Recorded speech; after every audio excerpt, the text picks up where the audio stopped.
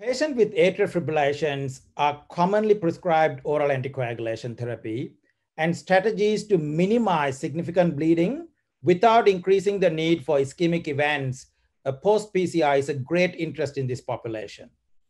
In the Onyx 1 clear post hoc analysis, patients treated with uh, Resolute Onyx DES who were event free at one month with a history of atrial fibrillation.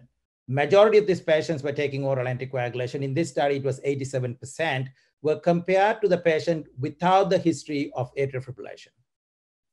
So in this study, especially the AF patients and the non-AF patients were very highly complex patients.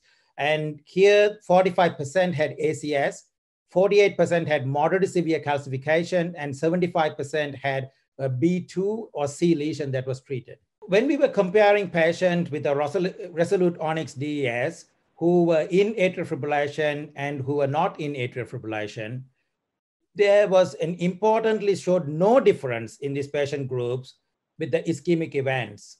The composite endpoints of cardiac death, myocardial infarction was similar in the AF population and the non-AF population. Here it was about 7.5 and 7.3 percentage. Now, when we go further into looking into this group, the stent thrombosis rate was significantly lower in the overall compared to most studies and in here, between the AF, which was 0.4%, and the non-AF group, which was 0.8%, and there was no significant difference. But the moderate bleeding was still higher in the AF subgroup. There was a significantly higher rate of BARC 2 to 5 bleeding in the AF subgroup, and this was predominantly driven by the BARC 2 bleeding. There was no difference between the BARC 3 to 5 breathing. It's important to note the BARC2 bleeding is still somewhat important as it requires investigations, physician assessment, and times hospitalization for treating these patients.